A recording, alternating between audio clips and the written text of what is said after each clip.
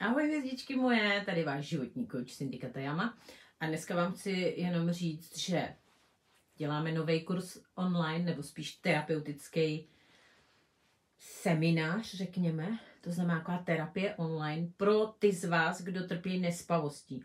Takže pokud eh, nemůžete usnout, nebo se v noci zbudíte a potom nemůžete usnout a cokoliv podobného, tak pro vás teď budu dělat online kurz v uzavřené facebookové skupině. Zrovna teď jsme skončili takový kurz na odpuštění. Tentokrát bude teda na problémy s nespavostí.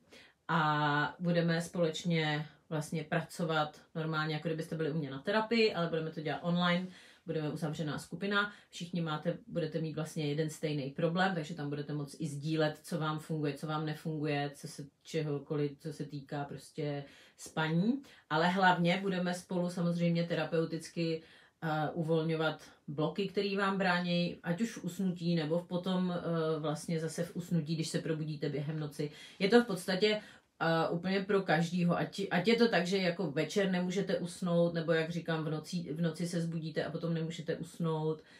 A všechny ty pochody, které máte v hlavě, prostě takový to stek na toho vedle vás, který tam spí a vy nemůžete usnout a ty strachy, že se ráno zbudíte, když teda jako usnete vůbec, tak budete unavený a z toho, že potom budete v práci dělat eh, chyby a že ve, finále vás té práce vy, vyhoděj a že to nezvládnete a že budete tak vyčerpaný, že se z toho zblázníte.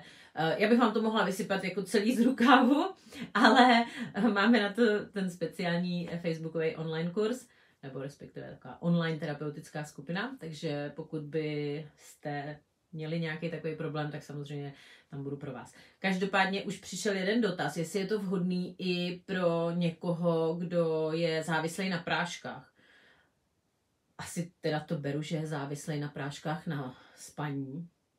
Jsem chtěla říct na praní skoro, jsem řekla na praní skoro.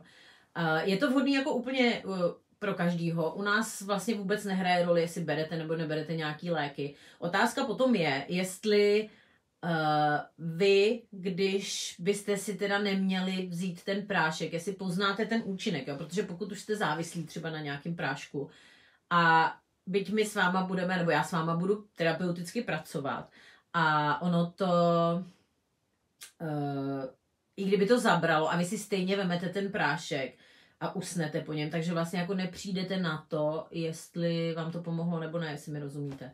Jo, takže uh, to je otázka, jestli se v tom kurzu záleží, kolik z vás tam například bude už nějaký prášky brát a pokud budete mít strach, že když se ho nevemete, tak stejně neusnete, tak samozřejmě se tam tomu budeme věnovat, ale pokud by tam měl být jeden člověk a, vlastně řešit tam jenom nějakou svoji závislost, tak samozřejmě poradím, co má dělat, ale nebudeme to tam dělat prostě jako skupinově. Takže jako vůbec neřešte, jestli berete nebo neberete prášky, pokud je potřebujete, tak samozřejmě bez nich neusnete, no tak jako je berete.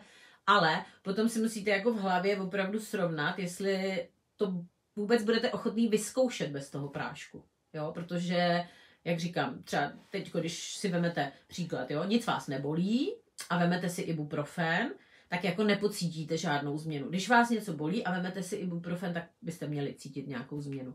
A když eh, vlastně já vás zbavím nespavosti, ale vy si stejně přesto vemete nějaký prášek, tak vlastně nebudete vědět, jestli trpíte nespavostí nebo ne.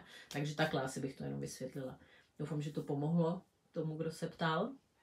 A samozřejmě, pokud byste měli jakýkoliv dotazy týkající se toho, jestli ten kurz je pro vás vhodný nebo ne, tak je pište sem do komentáře, nebo že jo, tohle video se samozřejmě objeví i na Instagramu, objeví se na YouTube, takže pokud byste měli cokoliv za dotazy, tak je pište dolů do komentáře a já se jim pověnuji potom.